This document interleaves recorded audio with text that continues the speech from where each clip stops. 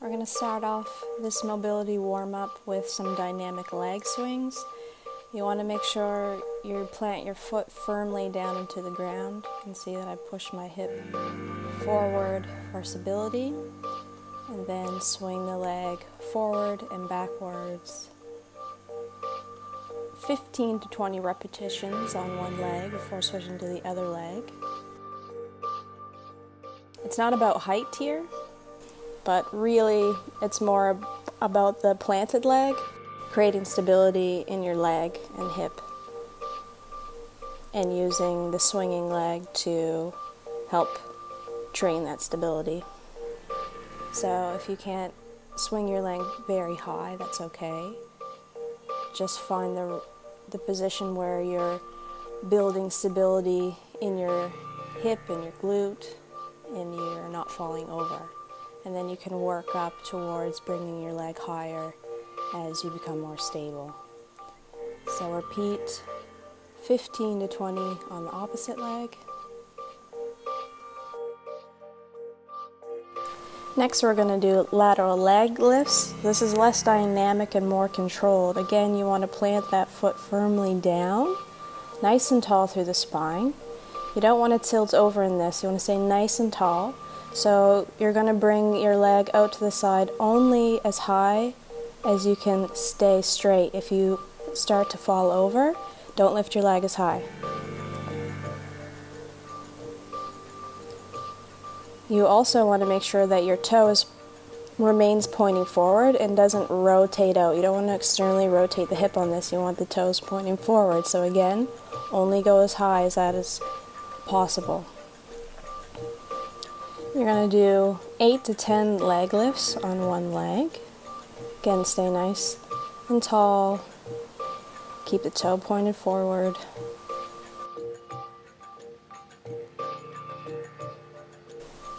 You're going to do the same thing on the other side. And the point is here to slowly lift and lower your leg. It's a nice and controlled movement. And what's really being worked here, not only your mobility in that leg over time will be able to get higher and you'll be able to stand tall, but also you're going to feel this burning in your glutes as well. So it's creating stability in your hips. Next, we have shoulder screwdrivers. You're going to put your arms in a T shape and you're going to kind of corkscrew your shoulder forward so you can see I'm driving my sh shoulder forward and down. The direction I'm looking, my palm's facing up. Going to perform four to five in each direction.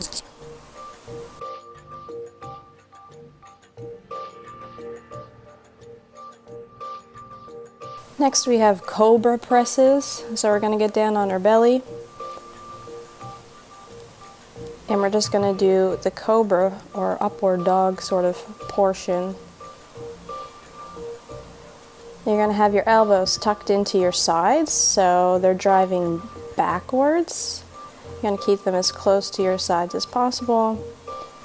And you're going to push away from the ground and draw your chest up to the ceiling also pulling, pulling your shoulders back and down. So don't let the shoulders pop up towards your ears. You want to pull them down and back and lift your rib cage, your chest, your heart up to the sky.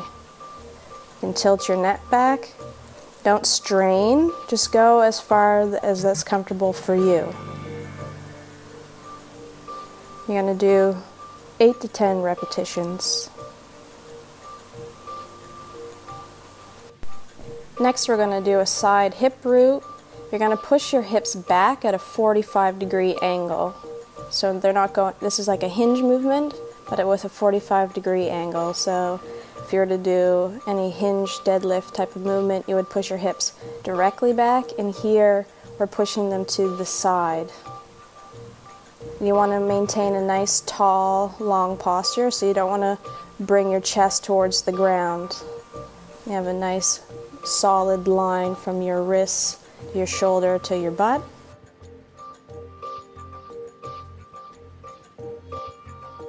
This is 45 degree. And then you're driving your hips forward, pushing the hip back, little stretch, load in the hamstring, and pushing forward.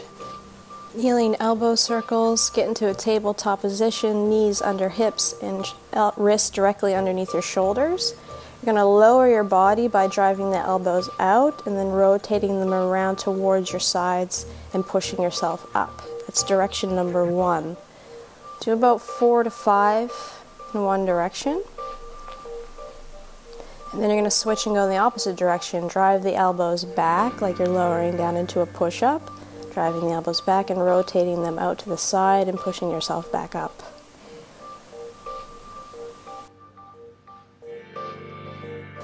Alternating floor scorpions, draw one leg up towards your butt and then rotate over, touching behind you.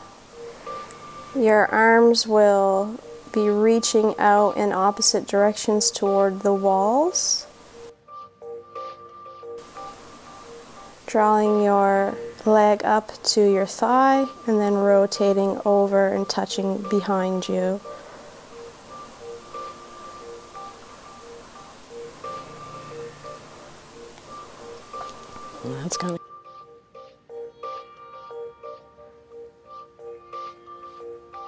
Shin box extensions, you're going to be in a 90-90 position. And then you're going to come up and drop back down. Shin box because you're coming up on your shin. You're in like a triangle position. One leg's out in front on the shin, and then your other leg is behind you, sort of coming back into 90 degrees.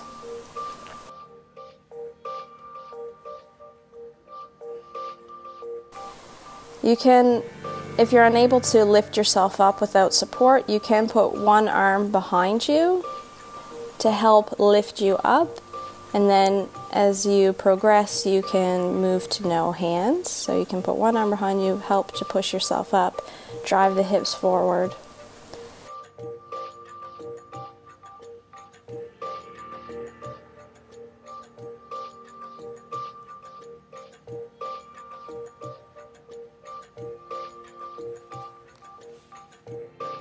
We're to get the heart rate up before the workout. You're to do high knees, knees up high as you can, sprinter arms, driving the elbows back, hands forward, knees high as you can, high knees on the spot. Keep going, keep going. Knees up, knees up.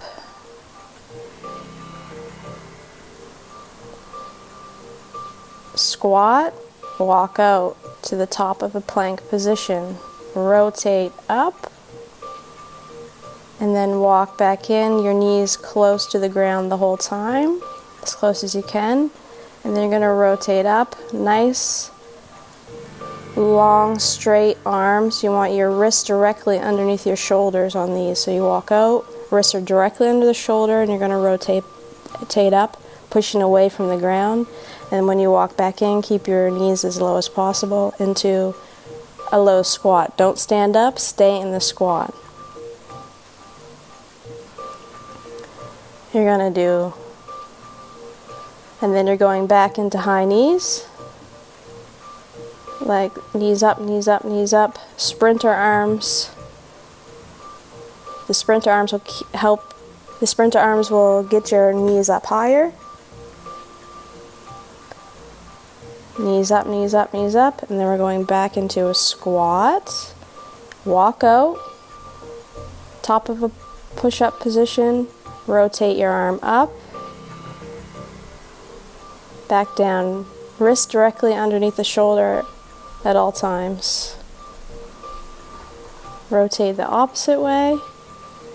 Nice tall inline arms, knees low, Stand low squat, don't stand up. Back out.